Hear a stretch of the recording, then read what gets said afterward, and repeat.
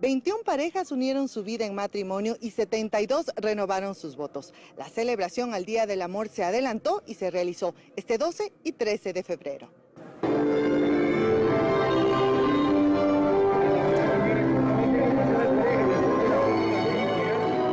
La Iglesia Catedral de la ciudad de Loja celebró el Día del Amor con varios eventos gratuitos para afianzar en la ciudadanía el sacramento del matrimonio. La familia es la célula principal de nuestra sociedad y debemos cuidar nuestras familias para tener una sociedad mejor. 21 parejas que llevaban en unión libre por 10, 15 y hasta 30 años decidieron dar el sí en esta fecha tan especial, mientras que 72 parejas más renovaron sus votos. Creo que nos ha dado la oportunidad a muchas parejas que hemos estado buscando este gran paso, entonces creo que para mí es muy bien, excelente.